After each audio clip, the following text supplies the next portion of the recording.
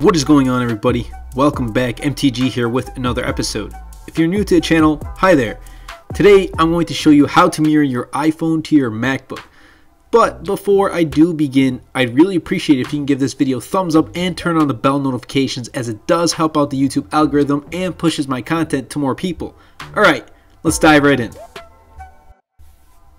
Okay, so the method is quite simple. All you need to do is connect your iPhone to your MacBook via the lightning cable. Once that's done, open QuickTime Player and click on New Movie Recording. You'll notice that your FaceTime camera will turn on so you can begin recording. Now we don't want that, so click on the arrow and you'll notice that you can change the recording device to your iPhone instead of the FaceTime camera on your MacBook. Then you click on that and bam, your iPhone screen is now on your MacBook you don't need to actually record the screen either. As you use your iPhone, it will mirror the same exact thing on your MacBook. This is by far the easiest way to mirror your iPhone screen to your MacBook. It actually comes in clutch sometimes when I just need something pulled up on my phone but on a larger scale.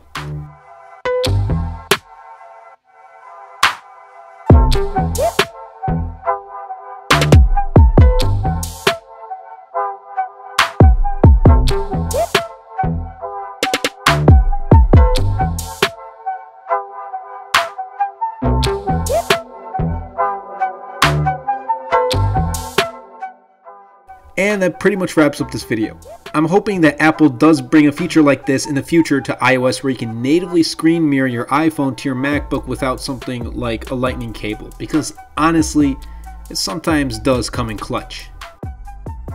Anyway everybody, I hope you guys did enjoy this video. If you did, be sure to superman that like button, comment down below because with the more interactions we get on this video, not only helps the video and the channel, but also pushes the video out to more viewers. And best of all, Superman that subscribe button. Until next time everybody, and until next video, this is MTG.